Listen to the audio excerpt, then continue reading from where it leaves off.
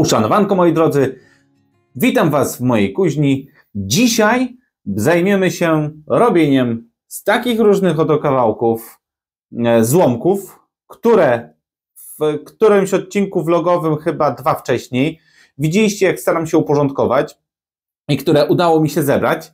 Mówię udało, bo nie zawsze jest tak, że odkładamy coś, końcóweczki, jakichś e, kawałków metali i tak dalej. Niemniej kuźni się to bardzo przydaje.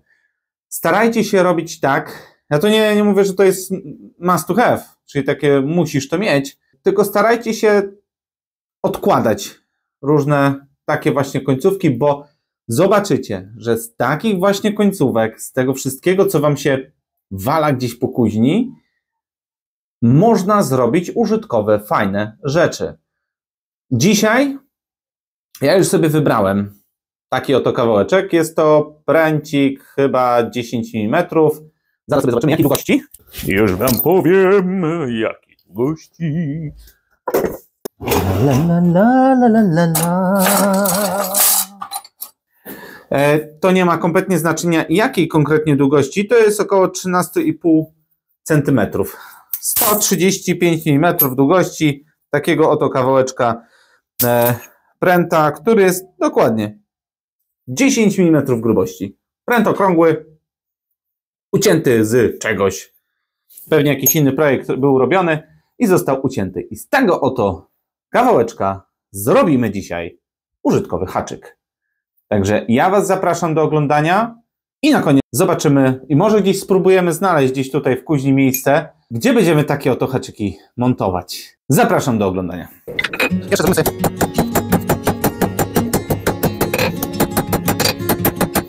Teraz na początek e, zrobimy sobie taki najpierw stożek. Tutaj dobrze widzę? Dobrze. Zrobimy sobie stożek. Zaokrąglimy go.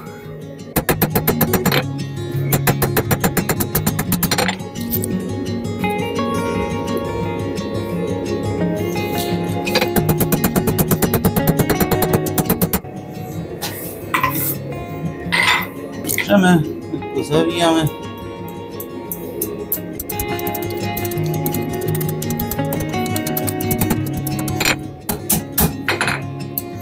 No i dobra, teraz sobie obracamy i z tej strony zrobimy klasyczny po prostu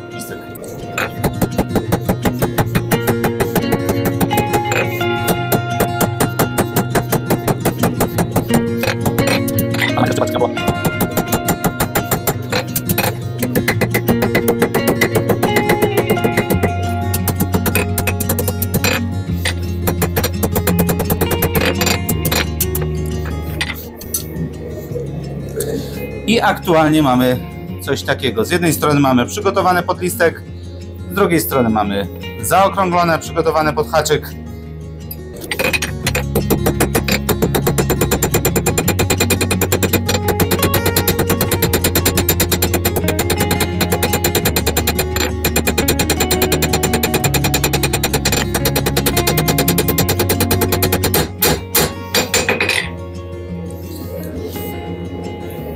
Listek mniej więcej gotowy.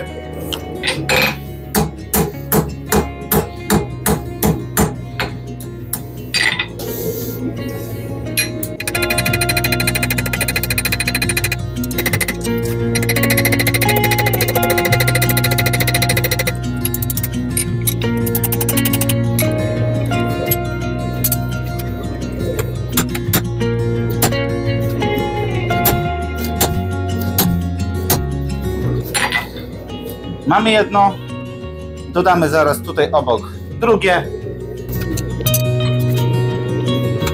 Ja do robienia takich zagłębień e, korzystam z takiego pobijaczka, który on był tak naprawdę wcześniej przebijakiem, tylko ja sobie zaokrągliłem tu końcówkę, tak żeby mieć możliwość po prostu dawania okrągłych e, okrągłych e, kulowych zagłębień.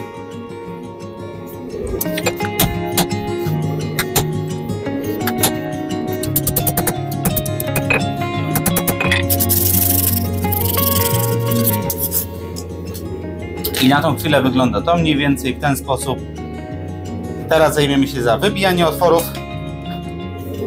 Do tego ja, mi, mi służy e, taki przebijaczek mały, jest stosunkowo malutki, na kleszczach zamkniętych z tej strony, więc nie wypadnie mi to.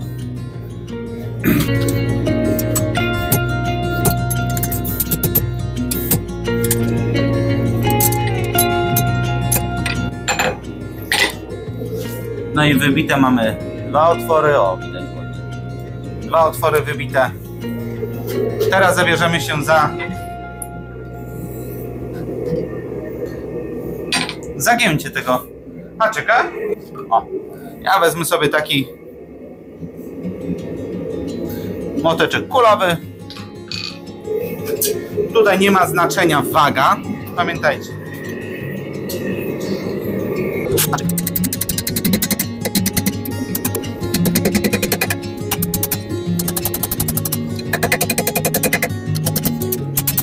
Bo teraz chcia- chciałbym Wam właśnie pokazać, co w przypadku, bo przy okazji fajnie jakbyście się nauczyli czegoś, nie?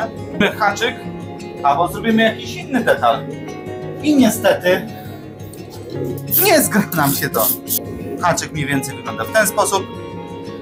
I teraz Wam pokażę, co zrobić w przypadku, kiedy nam się właśnie nie zgra to wszystko. Leci. I teraz patrzcie, ja sobie ustawię tutaj, chociaż kleszczami też możecie to zrobić.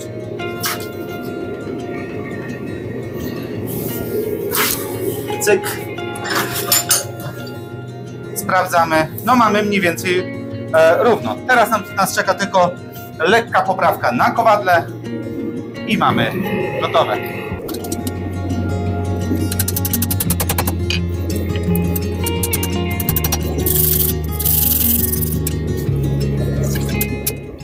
E, Przed chwilą niestety nie nacisnąłem przycisku nagrywaj, więc e, poszło, minęło. E, Pokryłem to pastą, którą e, wiecie jak już przygotować z poprzednich e, filmów. Teraz ja trochę czekam na to, że to ostygnie, żeby szmatką wytrzeć nadmiar. A few moments later. Szmatka po prostu zwykła bawełniana szmatka. Nic specjalnego.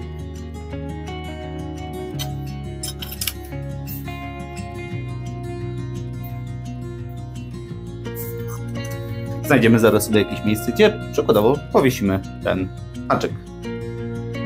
No i w ten oto sposób udało nam się zrobić z jednego kawałka złomu, z pierwszego kawałka złomu, który mieliśmy w, e, w tej skrzynce, udało nam się zrobić ten oto ręcznie robiony wieszaczek, który na pewno, jeżeli wykonacie chociażby niedługo zbliżających się świętach, zrobicie taki na prezent, to na pewno będzie to trafiony. My teraz się zajmiemy zamontowaniem tego oto wieszaczka na deskę, którą Wam w vlogowym filmie wspominałem, że będziemy robić. E, I zrobiliśmy. Ja zamontuję ten wieszaczek, a Was zapraszam do dalszej części, już do prezentacji tego oto subtelnego wieszaczka z motywem liścia u góry. Idziemy dalej.